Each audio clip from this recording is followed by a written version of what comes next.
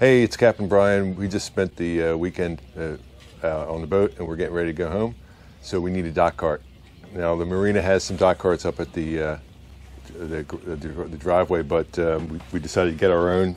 And it's nice because uh, during the pandemic, you don't want to share anything with anybody really. So here it is. It fits right under our seat.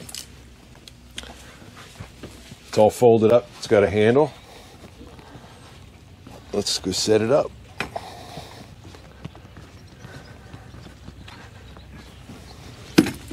So all you got to do is kind of push down on these two parts. It has a little hard floor. Oops.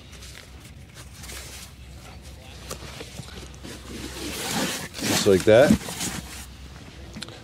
And then this pulls right out and I'm pretty tall, so you know it's nice that it's long enough. I don't have to bend over, and I don't have to kick kick it with the back of my foot when I'm when I'm walking. And it, it it's got steering, so it's easy to maneuver. And unlike unlike the wheelbarrow style carts that only have two wheels, you don't have to hold it up, so it can be loaded up real heavy and not feel like you're dragging a ton of weight.